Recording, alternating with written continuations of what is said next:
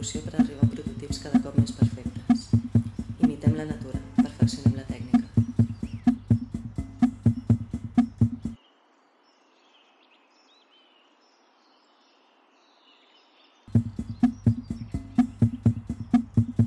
L'autocorri és el mitjà pel qual les llavors viatgen sense ajuda de mitjans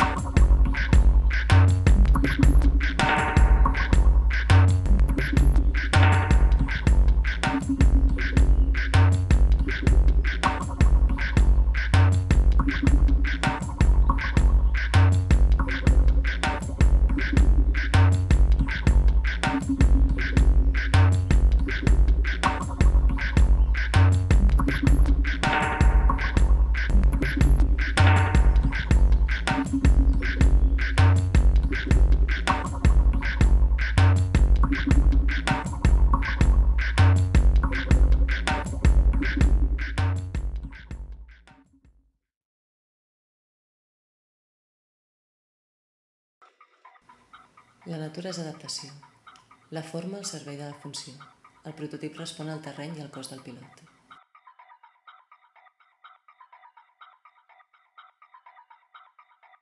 Doncs el que volem és adaptar el vehicle al cos del pilot. Per això hem agafat el cos de l'Eugènia, que és la nostra conductora, i l'hem enguixat amb vena de guix.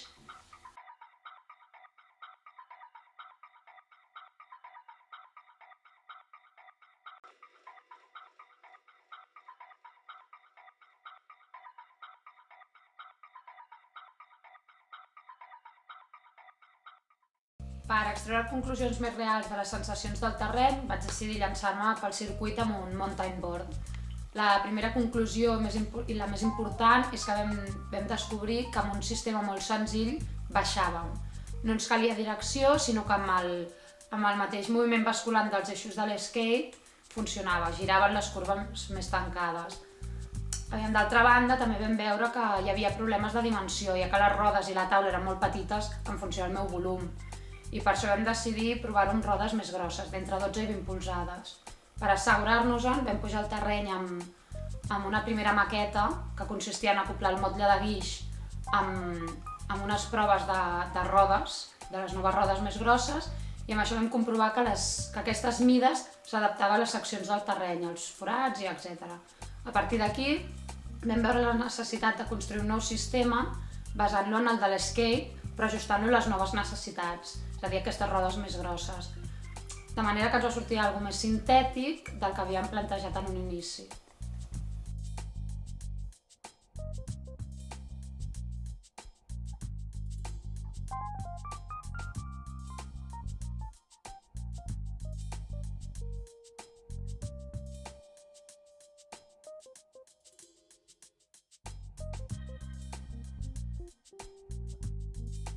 El material que necessitem d'entrada és rodes de bici d'entre 14 i 20 polzades, eixos de skate, forquilla, frens i un taulell de fusta. Aquest material el trobem de material en desús, de, tant de familiars, anem a deixalleries i ferrallers. Ara ens posem a desmuntar.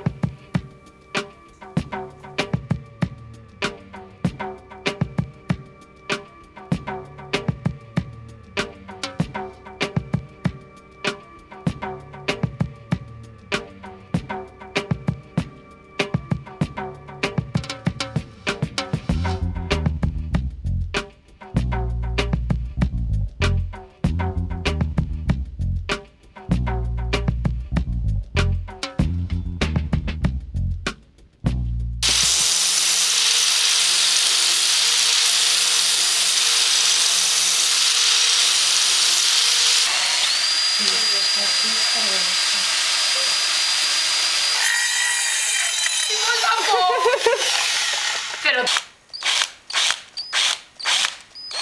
La pregunta era 4 o 3 rodes. Resposta, provem les dues opcions. Per això vam necessitar dos eixos construïts amb una barra metàl·lica i uns eixos de skate, eh, subjectes per dues brides metàl·liques.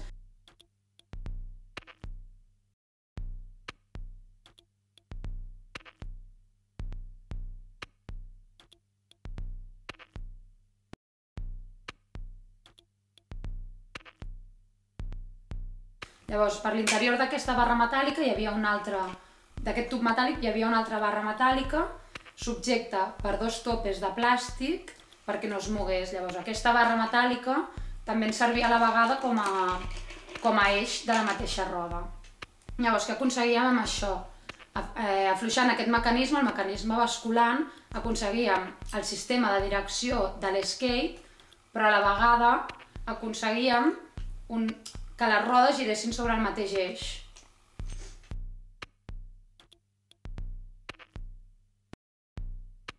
Para comprobar si funcionaba el, el, prototipo con cuatro ruedas, lo que hicimos fue probarlo en la calle.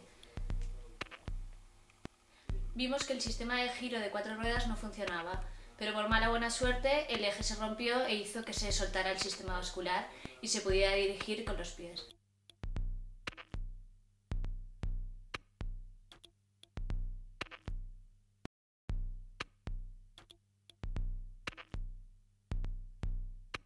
Pel sistema de tres rodes substituïm l'eix de darrere per una forquilla centrada. La primera intenció és col·locar dues rodes davant de 14 polzades i una darrere de 20. El que passa és que per falta de rigidesa de l'estructura, és a dir, de la nostra maqueta, ho provem al revés. Per fer aquesta prova afluixem el, el sistema basculant de l'skate, el pivot, per millorar el gir. El que veiem en aquesta prova és que comencem a tenir un gir interessant, però encara hem de provar l'altra opció, que és col·locar dues rodes davant i una al darrere. Sí, sí. Finalmente, para facilitar el giro y tener más estabilidad, lo que hicimos fue escoger dos ruedas delante de 14 y una detrás de 20. Y la de detrás utilizábamos el freno de la horquilla que ya venía incorporado. Hem vist que les dimensions de la taula que hem utilitzat per la maqueta són correctes, però a nivell de material creiem que el més adequat seria utilitzar un contraxapat de fusta de arce, que és la que s'utilitza en el món de l'skate. A més a més, també, també hem vist que el pilot ha d'anar inclinat una mica cap enrere per poder controlar el gir amb el propi pes, amb la inclinació del pes. Llavors, amb, seguint amb el control del gir, també vam veure que el pivot s'havia d'afluixar per poder controlar l'eix davanter, amb els peus de manera que, fes, que girés sobre el mateix pivot i aconseguir el moviment basculant i també i alhora reforçar l'eix de les rodes per major resistència a la flexió.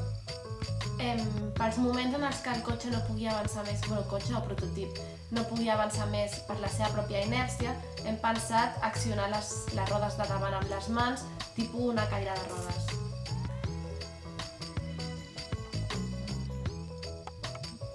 Bueno, en conclusió, està bastant... Vull dir, el sistema va funcionar. Sí, solo falta pulir detalles y acabar el, la estética del, del vehículo. I fer una maqueta U5 per veure com va aquesta estètica.